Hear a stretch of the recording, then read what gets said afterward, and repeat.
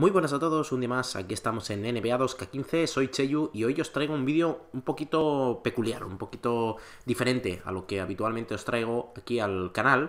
Y es que, bueno, me he animado a hacer una especie de guía, podemos decir, o recomendaciones, mejor dicho, yo creo que es la palabra más adecuada, una serie de recomendaciones de jugadores de bronce que yo he podido utilizar y que creo que dan un resultado bastante, bastante bueno. Sí que es cierto que hay eh, cierta controversia con esto de los jugadores de bronce, porque ya sabéis que el modo dominación tiene una peculiaridad que es que puede hacérsenos demasiado complicado en ciertos momentos.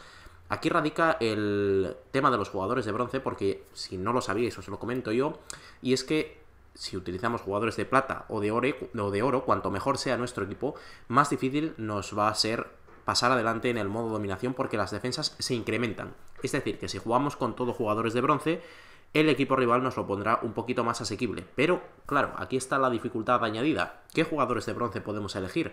¿Cuáles son los mejores jugadores de bronce que podemos añadir a nuestra plantilla? O si será bueno meter algunos jugadores de bronce y eh, tratar de compensar con algún jugador de plata, algún jugador de oro, porque no dejan de ser jugadores de bronce, como os digo, y pueden tener algunas carencias que contra equipos muy fuertes pues nos lo hacen pasar bastante mal. Bueno, para tratar de, echar o arrojar un poquito de luz a esta situación, me ha animado a hacer una entrada en nuestro blog, que ya sabéis que muchas veces os lo comentamos en los vídeos, pero si no están en la descripción de todos nuestros, nuestros vídeos colgados en YouTube, tenemos un blog de videojuegos donde normalmente solemos compartir algún tipo de información pues relacionada con los videojuegos que estamos colgando en nuestro canal o un poquito aparte pues ya sean juegos indie, eh, las compras que vamos haciendo, eh, algunos análisis que compartimos o algunas reviews entre comillas que podemos hacer o que hacemos siguiendo nuestro criterio y bueno, nos gusta compartir de vez en cuando información con vosotros por ahí. Creemos que es un medio bastante interesante para estar en contacto con vosotros. Y en este caso creo que es una buena idea eh, haber hecho esta entrada con jugadores de bronce que, como os digo, eh, están basados en mi criterio personal, que yo he utilizado y que creo que dan un resultado bastante bueno.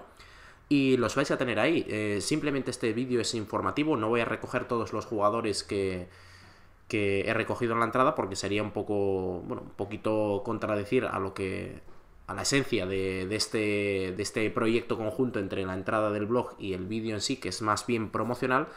Eh, bueno, pues simplemente quiero deciros que vais a tener el enlace ahora mismo en la pantalla, que vais a poder pinchar en él y vais a entrar directamente a esta entrada eh, que tenemos en nuestro blog, donde recojo jugadores por posiciones, eh, base, escolta, alero, ala pivot y pivot y también os pongo algunos consejillos, algunas de las ideas que yo suelo tener en cuenta para, por ejemplo, algún jugador de base que puede jugar de escolta, algún escolta que sí que lo podemos pasar al alero, eh, algún alero incluso que puede pasar a 4, a la pivot, algún pivot que puede jugar de la pivot también porque le guste salir un poquito a tirar. Bueno, todas estas cosillas, estos conceptos también los tengo. También os he añadido eh, una pequeña descripción de cada jugador con los que a mi modo de ver son los pros y los contras y por último también he añadido una eh, captura de pantalla que he conseguido bueno, capturar eh, con, a través de, PlayStation 4 con el eh, botón de capturas de pantalla. he ido haciendo capturas de pantalla de según qué jugador he encontrado y según qué precio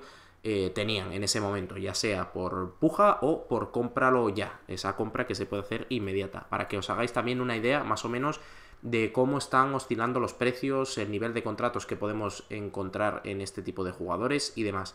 Creo que puede seros de mucha utilidad, eh, creo que también está bien organizada, más o menos, creo que no, no puede arrojar muchas dudas o, que os pueda hacer dudar.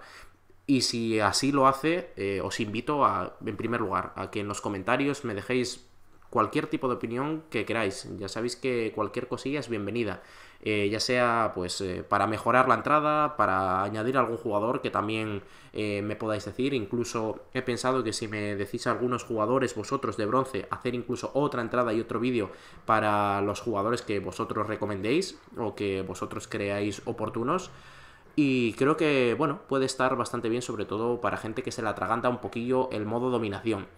Espero que os, sirva, que os sirva como digo, que os sea de utilidad sobre todo.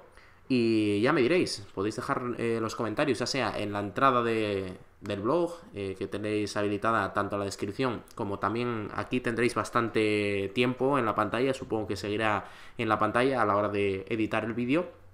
O si no, en, nuestro, en este vídeo de YouTube también podéis dejarnos eh, cualquier tipo de comentario, nombre que vosotros eh, creáis oportuno. Sin más, bueno, espero que os sea de interés. En la descripción, como siempre, vais a tener más vídeos de NBA 2K15 como siempre, nuestros enlaces a redes sociales y demás cosillas de interés. Y sin más, nos vemos en el siguiente vídeo. Hasta la próxima. Chao.